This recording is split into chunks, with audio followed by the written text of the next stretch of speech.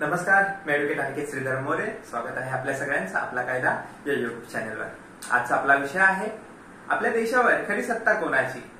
तर आज आपण या विषयाचं उत्तर या व्हिडिओद्वारे देण्याचा प्रयत्न करणार आहोत आहे. तर सर्वप्रथम आपण याची माहिती घेऊया की आपल्या देशाचे जे लोकशाहीचे तीन स्तंभ आहेत त्या तीन स्तंभांविषयी. आपल्या देशातील लोकशाहीचे तीन स्तंभ आहेत. एक शासन प्रशासन आणि न्यायव्यवस्था. तर सर्वप्रथम आपण शासनाविषयी माहिती घेऊया. शासन म्हणजे काय असतं? शासन म्हणजे आपण निवडून दिलेले लोकप्रतिनिधी. ते आमदार असोत खासदार असोत केंद्रामध्ये केंद्र शासन आणि राज्यामध्ये राज्य शासन यांच्याद्वारे प्रस्थापित होतं. तर या शासनाचं कार्य काय असतं?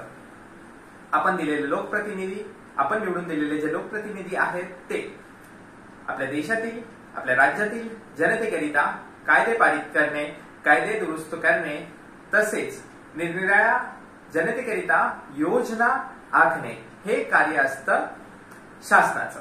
त्यानंतर लोकशाहीचा दुसरा स्तंभ म्हणजे प्रशासन. प्रशासनाचं काम काय असतं?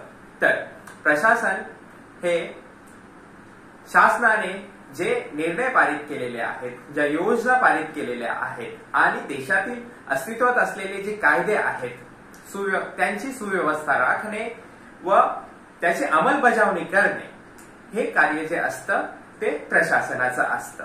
तसेच एखाद्या कायद्याचे उल्लंघन होत असेल तसेच एखाद्या योजनेचे उल्लंघन होत असेल तर याची माहिती माननीय न्यायालयाला देण्याची जबाबदारी ही प्रशासनाची असते आणि त्यानंतर आपण जो लोकशाहीचा तिसरा स्तंभ आहे त्याविषयी माहिती घेऊया. तिसरा स्तंभ म्हणजे न्याय व्यवस्था देशात आपल्या देशात जे कायदा व सुव्यवस्था आहे त्याची जबाबदारी जी असते ती माननीय न्यायालयांची असते. संविधानामध्ये जे हे तीन लोकशाहीचे स्तंभ दिलेले आहेत त्यांना त्यामध्ये त्या सर्वांचं काम जे आहे ते दिलेलं आहे. कार्य जे आहे ते दिलेलं आहे.